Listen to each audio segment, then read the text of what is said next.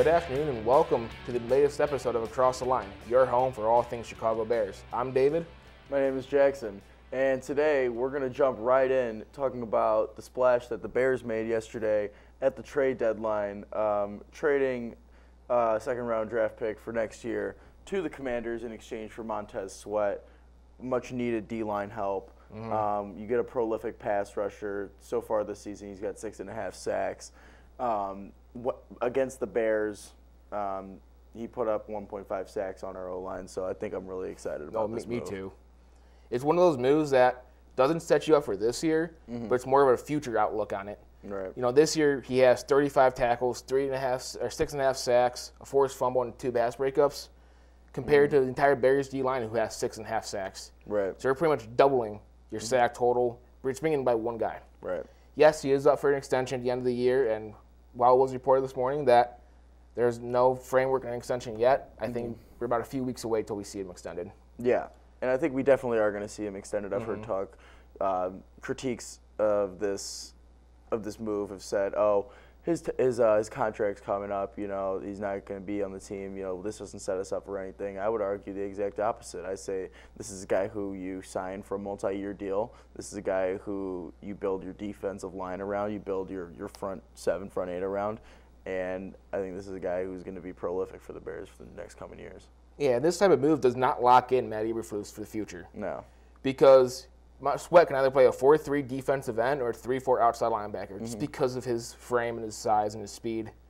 So don't think that's too much of a uh, oh, that Flus is a guy for the future. But Yeah. And then, you know, you talk about his frame. He's 6'6. He's 262 pounds. He can move. Um, he's a guy that's going to be really versatile. Um, and a lot of people, a lot of people wanted Chase Young. Plain and simple, a lot of people want to Chase Young. And when you look at it, you know, San Francisco only gave up a third rounder. We gave up a second rounder for who a lot of people would argue is the lesser of the two. However, John Hurst said something really interesting. he said, "Would you rather pay for youth and potential, or would you rather pay for veteran experience?" And I would take the latter every time. yeah, and availability is your best ability in this league. Yeah, And Montez Sweat has yet to miss a game due to injury, mm-hmm. where Chase Young missed almost an entire season because Right. of his injury. yeah, But you know, Sweat immediately comes in as your third best guy in the defense. Easily. Maybe maybe your best. Because you got uh, Tremaine Edmunds, you got Jaylon Johnson, T.J. Edwards. Yeah, I'm, I'm happy about this move. I think it's Yep. the best thing the Bears could have done at the deadline. yeah, for sure. I was expecting them to sell off a few more guys, maybe Jaylon Johnson and uh, Eddie Jackson, but they decided not to, and they're Yeah. sticking with their group. Yeah, I was ready to let go of of uh, Jaylon Johnson after I heard the news come out. I don't want to, um, but I was I was you know I was preparing myself for the grief uh, Yeah. once I heard that news came out That that, was- you had requested a trade, um, which I'll talk about a little bit more when we get into the next year's draft. So Mm-hmm. yeah, Well, kind of moving on. Yeah. Uh, the Bears are kind of in the middle of a QB controversy. that we are. Yeah, uh, you see, I, I've got the jersey on right now. Um, people say, you know, is Fields the guy? A lot of people don't think Fields is the guy. I think everybody wants Fields to be the guy. Absolutely. Everybody wants Fields to, get, to be the guy. You know, nobody's really going to debate about that. But I think just he's not the problem. I, I'll play. I'll say it plain and simple. He's not the problem. I think he's. I think he's a guy who who. I'll, I'll say this. He's a system quarterback. Mm-hmm. He needs a system, which I have here is the main thing. The guy needs a system, and the guy needs a coach who's going to let him do what you want, what he wants to do. So I want to we'll see what you think about that. So when it comes to Fields, I don't think he's the problem, but he is part of it. Yeah, of course. Like obviously he's not meant for whatever Luke Getsy's system you know wants to run, but he needs to kind of start adapting more. Mm-hmm. He's not a, a pure pocket passer, but he cannot just hold on to the ball and take sacks every time he hits the ball. We saw that become an issue early on in the season. But you know, so you know, so far in the season, he has a 61.7% completion percentage, 1,200 passing yards, 11 touchdowns, six interceptions. On the surface, it looks great. But the Bears are two and six. Yeah. It's not really. It's not working. It's been this is year three.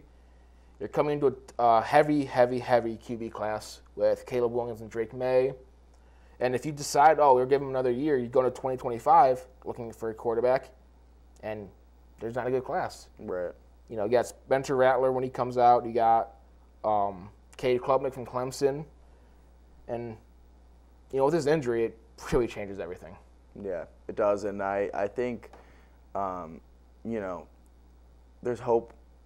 You know, th- there's excitement with Bagent, but everyone knows he's not going to be the guy, obviously. And I think, um, you know, he's he's everyone knows what he can do on his feet. Mm-hmm. Top five every year since he's come into the league.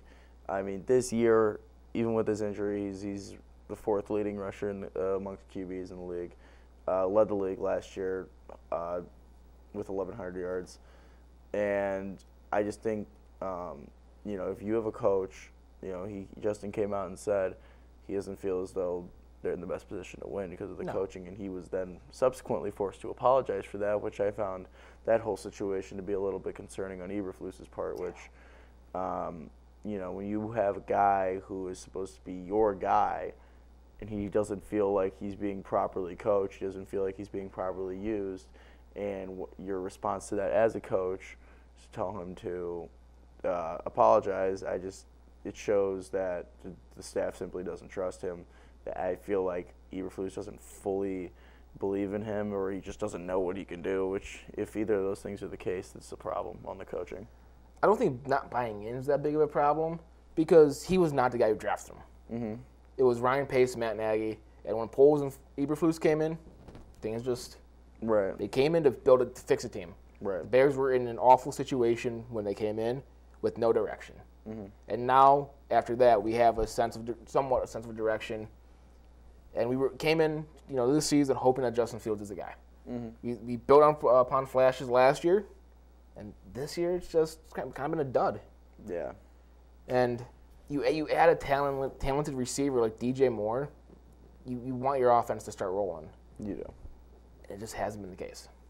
Yeah, it hasn't been the case, and you know, just looking at some quick stats here. I mean, the the, the Bears are ranked the thirtieth offense in the league out of mm-hmm. thirty-two. Um, I mean,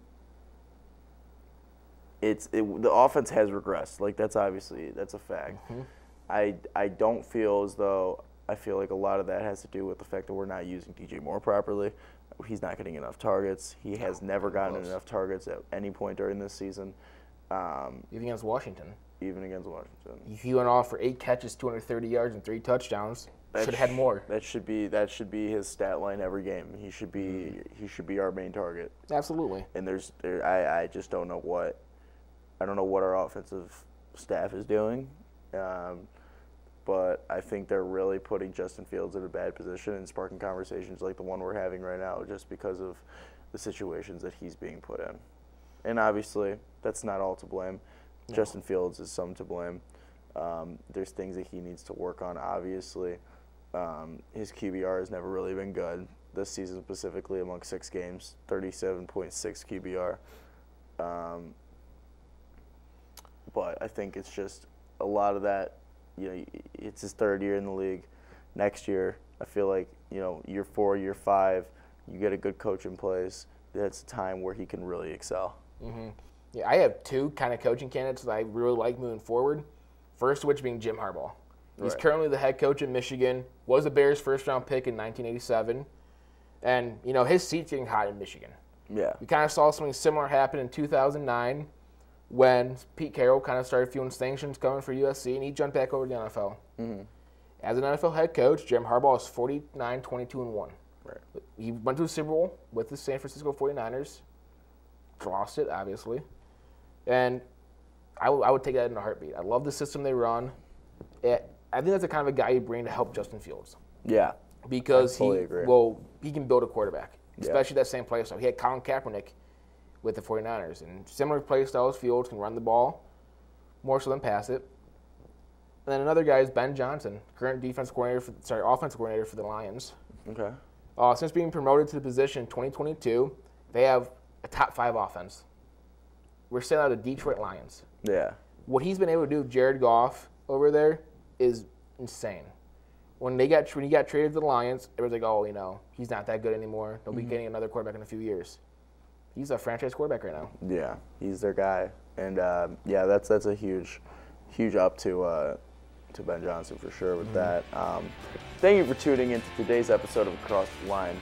we're glad you could join us, and hopefully the Bears can turn this thing around and get a win this Sunday at 12 against the New Orleans Saints in the Mercedes-Benz Superdome. Thank you, ladies and gentlemen. Signing off, this is Jackson Magad. I'm David Peters. Have a great night.